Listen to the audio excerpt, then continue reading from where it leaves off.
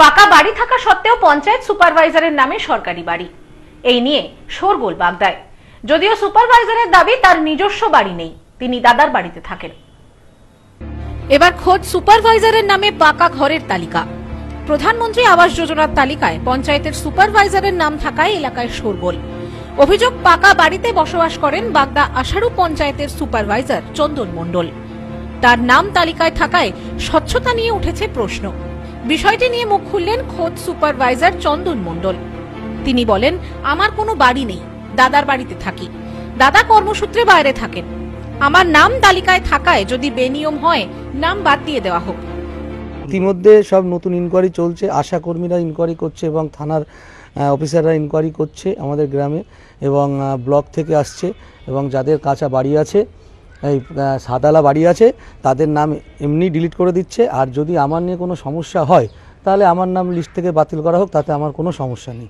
এবং লিস্টে নাম এসছে হ্যাঁ আমি বলেও দিয়েছি এবং লিস্টে নাম এসছে। প্রথম আমি জানি না পরবর্তীতে জানি জানানোর জানার পরে আমি মেম্বারকে জানাই বা মেম্বারের স্বামী। হ্যাঁ এটা আমার বাড়ি না দাদার বাড়ি। কিন্তু এই যে অবজেকশন এসছে কেউ না কেউ আপনাদের জানিয়েছে সেই কারণে আপনারা এসছেন।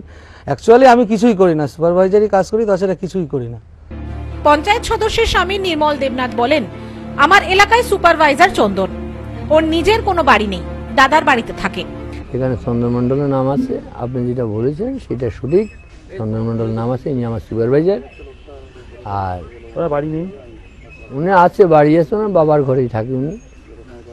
আর দাদারও ঘর আছে দাদার বলি চাকরি করে। নিজেই তালিকা তৈরি করেছেন এবার? উনি ছিলেন। যে তালিকা যখন লিস্টটা হয় তখন উনি ছিলেন ছবি তুলেছেন।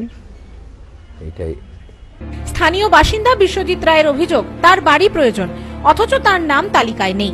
সুপারভাইজার হওয়ায় পাকা বাড়ি থাকা সত্ত্বেও চন্দনের নাম তালিকায়। তার নাম হচ্ছে চন্দন মণ্ডল টিএমসির সমর্থক এবং টিএমসির লোকাল যে নেতা এবং সে প্রভাব খাটিয়ে নিজের নামটা লিস্টে তুলে নিয়েছে এবং আমার বাড়িতে এসেছিল। ফলস ক্যামেরার একটা ফ্ল্যাশিং মেরে মোটামুটি ওরা বেরিয়ে যায়। পরবর্তীতে জানলাম যে আমার নামটা নেই। কিন্তু আমার প্রশ্ন হচ্ছে এটাই যে চন্দন মণ্ডল সে তার আর্থিক অবস্থা মোটামুটি ভালো এবং সে পাকা বাড়িতেই থাকে অথচ তার নামটা লিস্টে আছে। এটা তৃণমূলের নেতাদের একটা চক্রান্ত। বিষয়টি নিয়ে মুখ খুলেছেন বাগদা ব্লক তৃণমূল প্রাক্তন সভাপতি। তিনি বলেন চন্দনের নিজস্ব বাড়ি নেই। ওর নাম তালিকায় আছে আমাদের জানিয়েছিল। এটা বেআইনি হলে নাম কেটে দিক। এবং এখানে যে বাড়িটা রয়েছে, সে বাড়িটা হচ্ছে ওর বড় ছেলে। এবং বাবা আমাকে দেখেন না। ছোট ভাই বিবাহ করেছে, একটা বাচ্চা মেয়ে আছে, অল্প বয়স মানে আজকে ছ মাস, সাত মাস বয়স ডে লেবার। এবং ওরা স্বামী, স্ত্রী দুজনাই উচ্চশিক্ষিত কিন্তু দুর্ভাগ্য হলেও সত্য যে তারা চাকরি পায়নি। এখন তাতেও যদি আমরা মনে করি যে ওই ঘর রাখা সম্ভব না, এবং সরকারি নিয়মের বাইরে হয়ে যাচ্ছে ডেফিনেটলি আমরা কেটে দেবো। এবং সেই কাটার ক্ষেত্রে আমাদের কোনো সে থাকবে না। ব্যুরো রিপোর্ট নিউজ রোম্যান্সল্যান্ড বাগদা। বাঙালির প্রাণীর উৎসব দুর্গাপুজো। নতুন নতুন কালেকশন নিয়ে আদি মোহিনী মোহন কান্দিলাল এবার তোমার শহর বনগা। শিমুলতলার মোড় যশোর রোড।